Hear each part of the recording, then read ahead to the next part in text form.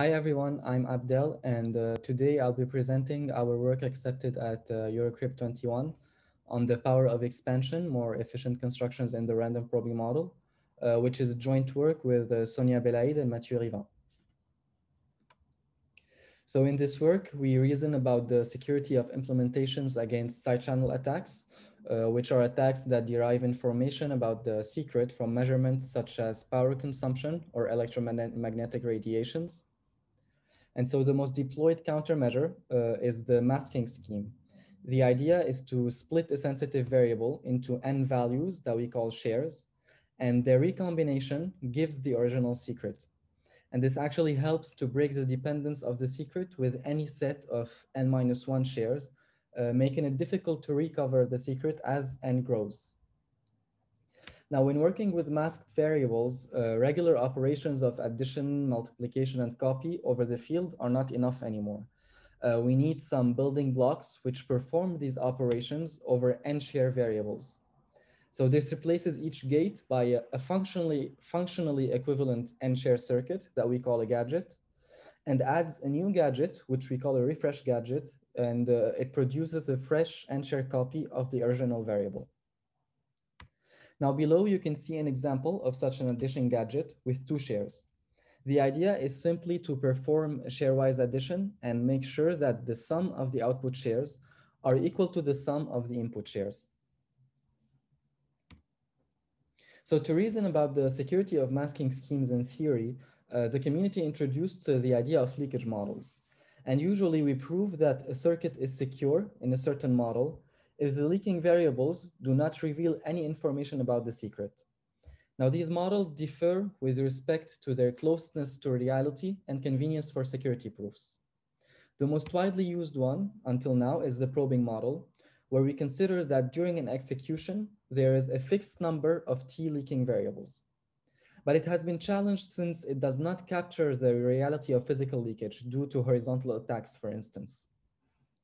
Another one is the random probing model, where each variable leaks with a certain probability p. So the value is leaked with a fixed probability p. And the last one is the noisy leakage model, where all variables leak a noisy function of their value, which is the closest to the reality. And there is actually a reduction property which proves that a circuit secure in the probing model is also secure in the other two models. Now, the problem with the reduction to the random probing model is that it uses the Chernoff bound. And so the security parameter degrades as the size of the circuit grows. So it's not very uh, practical. In this work, we focus on the random probing model from which a tighter reduction to the noisy leakage model exists and in which security proofs are still manageable. So this work is actually kind of a follow-up to a previous 20, uh, Crypto 2020 work, where the authors introduce explicitly what random probing security is. They also uh, define the notion of random probing composition to generate large circuits with overall security. But their essential contribution resides in the study of the expansion strategy. This strategy aims to arbitrarily amplify the security level of any RP secure circuit. While it has already been introduced in another work based on MPC protocols, uh, here the authors exhibit a more practical definition. And finally, they implement a verification tool called VRAPS, which aim to verify these properties for small gadgets with reasonable, with reasonable time.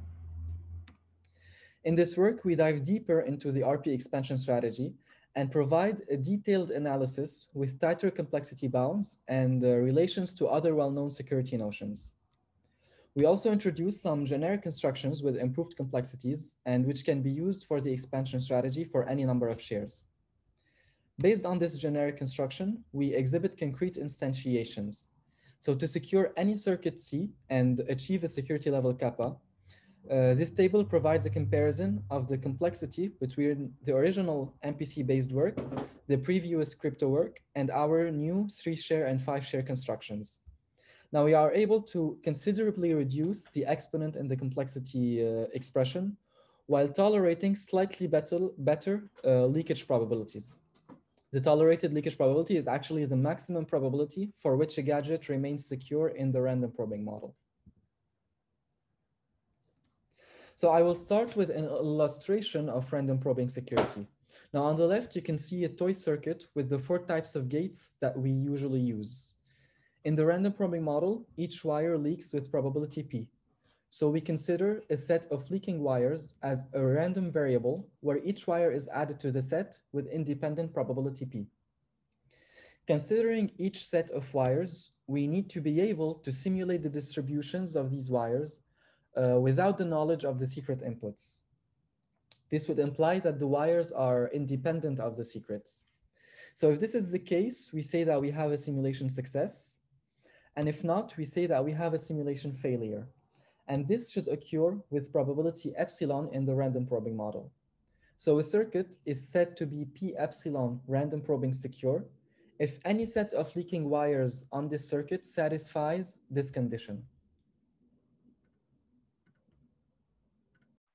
So in the random probing model, the expansion strategy allows gadgets to be composed and expanded to achieve arbitrary uh, security levels. So the expansion strategy consists in using n-share gadgets for basic operations that are random probing expandable and use them to replace a base circuit where each wire leaks with probability P by an expanded circuit where each gate is replaced by the corresponding gadget and each wire by n wires carrying a sharing of the original wire. So doing so, we hope to replace the leakage probability P of a wire in the original circuit by the failure event probability epsilon in the expanded gadget simulation. And if the simulation fails, then one needs the full input sharing for the gadget simulation, which corresponds to leaking the corresponding wire uh, in the base case. So the interesting thing is that this expansion can be applied recursively until we attain a desired security level. And this works as long as epsilon is strictly uh, smaller than p. Uh, this introduces the definition actually of the maximum tolerated leakage probabilities that I was talking about earlier. So to do this, the gadgets should uh, be random probing expandable. Uh, the RP expandability notion of a gadget ensures, first of all, its random probing security, but it also guarantees that we can compose this gadget with other RP secure gadgets. So the idea is to be able to simulate any set of wires on the gadget along with T output shares using at most T input shares. So if you have a circuit composed of a bunch of gadgets, as you can see here, and we fix the parameter T uh, equal to two, for example, then we can actually go from the bottom level to the top level by simulating T outputs along with internal probes using T inputs until we arrive to the topmost inputs of the circuit. So in addition, the RP expandability property uh, also imposes that we get an independent failure event probability on each input sharing of the gadget which is an, an essential condition for the, uh, for the expansion to, uh, to an arbitrary level k. So it has been proven in the previous work that if a certain gadget is random probing expandable according to the previous conditions with failure probability epsilon, then the k expanded gadget is also expandable with failure epsilon to the power k. So compiling a circuit C with base gadgets, which are all random probing expandable, outputs a compiled circuit, uh, random probing secure, with the failure probability uh, reduced with respect to the expansion level K.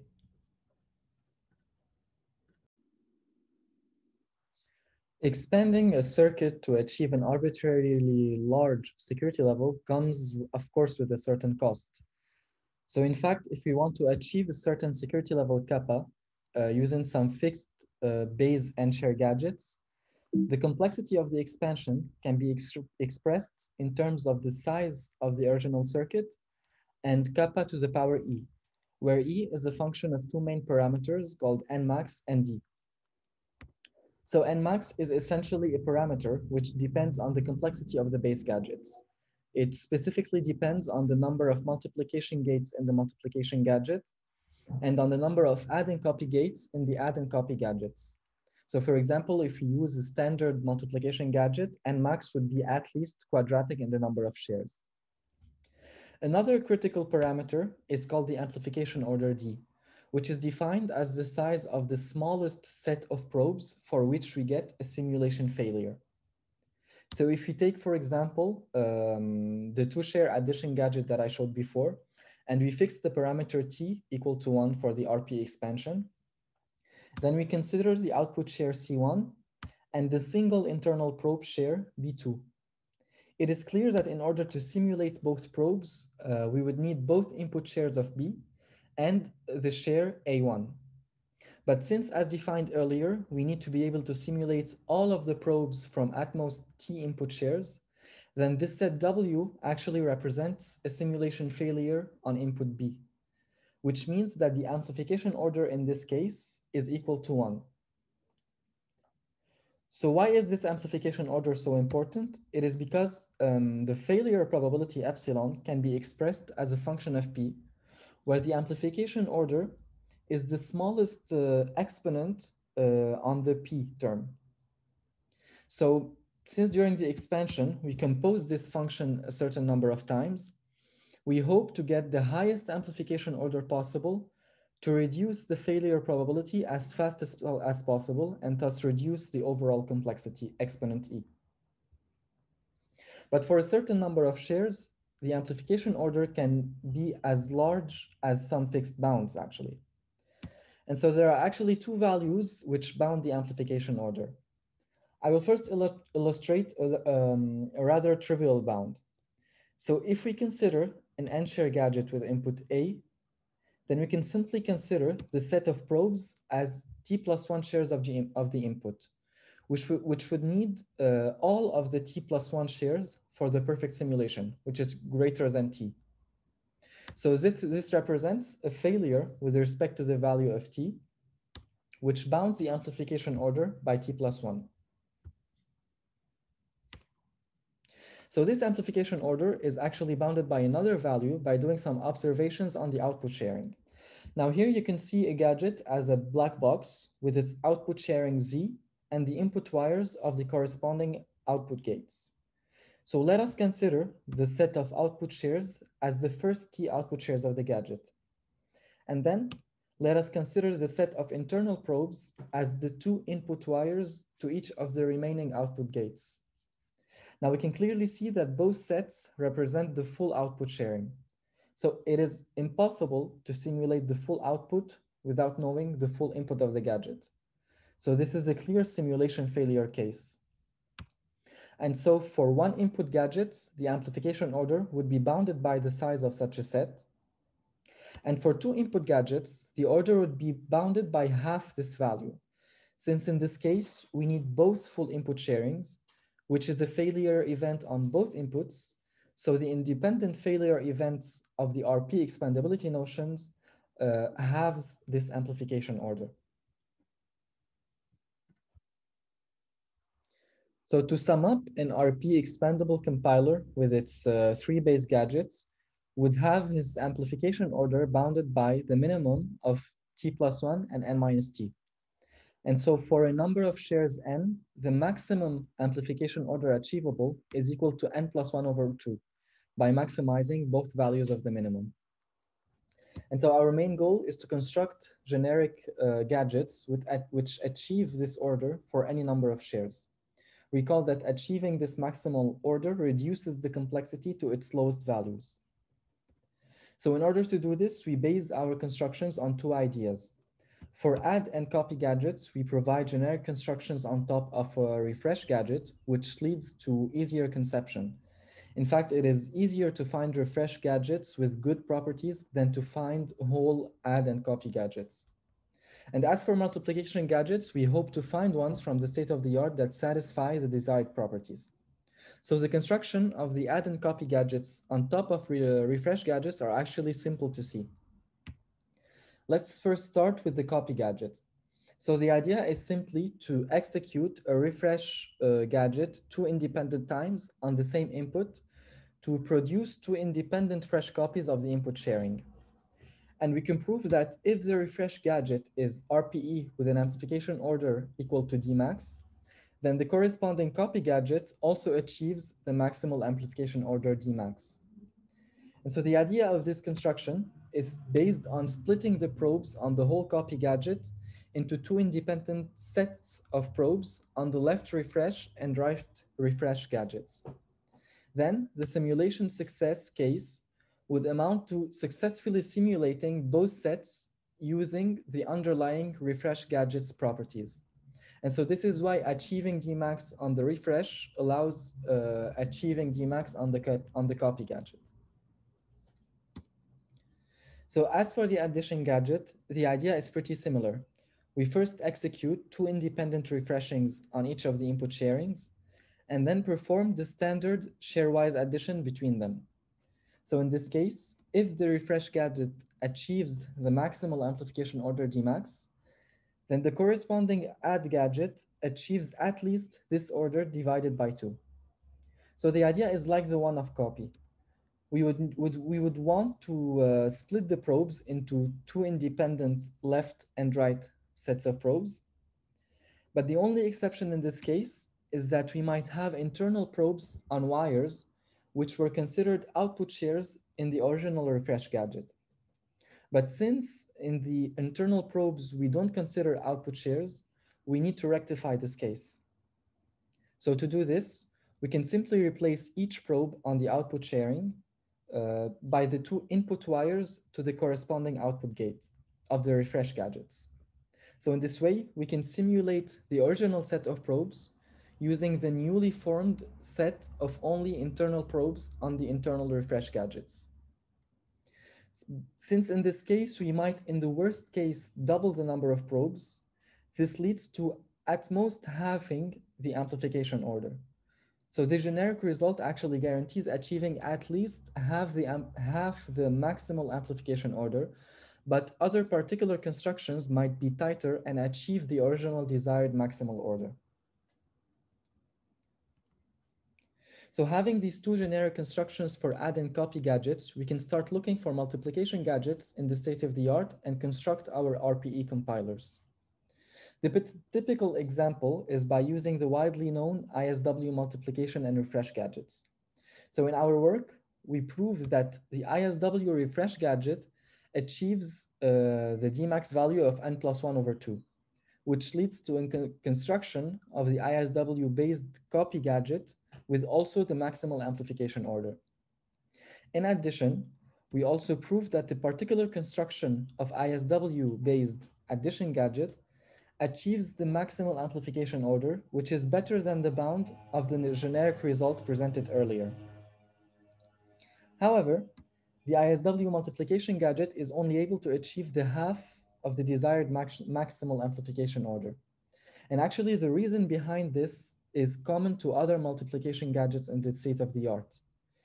It is because of the direct product between the input shares that is performed in the beginning. So if you consider the set of probes formed of the product of t plus one shares of each input, a perfect simulation of this set W requires the knowledge of t plus one shares of both inputs. So this represents a failure case on both inputs of size t plus one. And since we have an, independent failure event in RPE definition, this halves the amplification order attainable by such gadgets. So in order to truly achieve the maximal order for the RPE compiler, we can use the ISW-based add and copy gadgets, but we would need another multiplication gadget. So actually we had some trouble finding a multiplication gadget from the state of the art and which achieves what we need. So in our work, we also introduce a new construction for a multiplication gadget inspired from other previous constructions. So I'll show you here how our new gadget works for an example of three shares, but it generalizes to any number of shares. The idea is to first perform the cross product of the input shares and add to each product a freshly generated random value. This amounts to generating n squared random values for a number of shares n. Then we construct two vectors. The first one is the vector v, which is the result of performing a row reduction, uh, row-wise reduction on the matrix of terms p. And the second vector x is the result of performing a column-wise reduction on the matrix of random values. And so the output is then simply the element-wise sum of vectors v and x. This actually allows to have each output share with enough random values in its expression to avoid trivial sets of simulation failures. Now you can see that in this gadget, we also perform a direct product of input shares like other gadgets in the state of the art, which is which isn't uh, right if we want to achieve the really maximal amplification order for the reason I showed earlier. So to avoid this case, we provide a non-standard version, version of our gadget.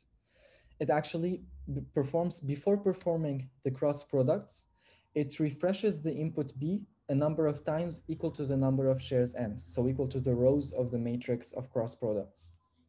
All this while using a refresh gadget satisfying similar properties as earlier constructions. Now, interestingly, this strategy of first refreshing the input shares uh, does not work in the case of other multiplication gadgets like, like ISW, which is why we needed to find a new multiplication gadget construction.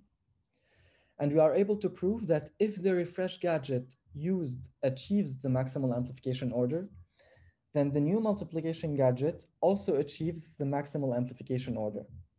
This amounts to achieving the desired order of n plus 1 over 2, unlike the ISW multiplication gadget, and to the best of our knowledge, this is the only multiplication gadget uh, which achieves this maximal order. Now in this figure, you can see a comparison of the evolution of the complexity exponent for three different RPE compilers. The first one is the purely based ISW compiler, achieving half the maximal amplification order. The second one is using the ISW add and copy gadgets and our new multiplication gadget, achieving the maximal order.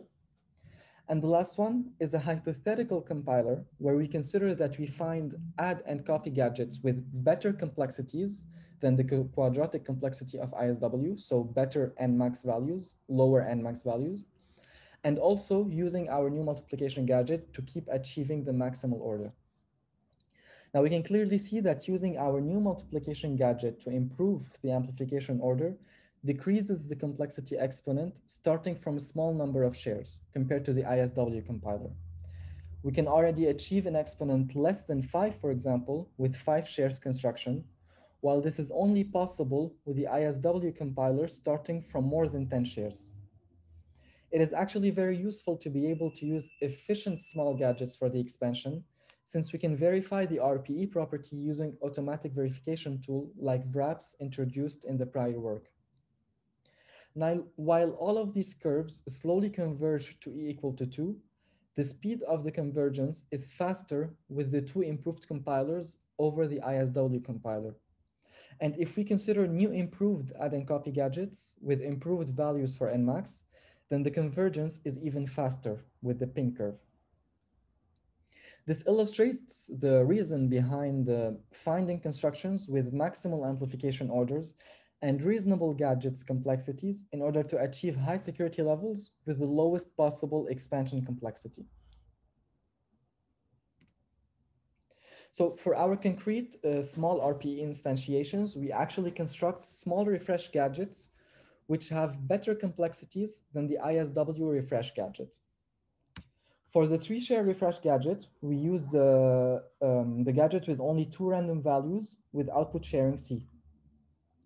As for the five share construction, we use the so-called re circular refresh gadget.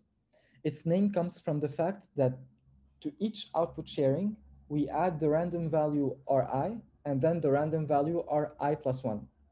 So to each output sharing, we first start by adding the random values and then add each input sharing of A at the end to avoid having many failure sets in the gadget.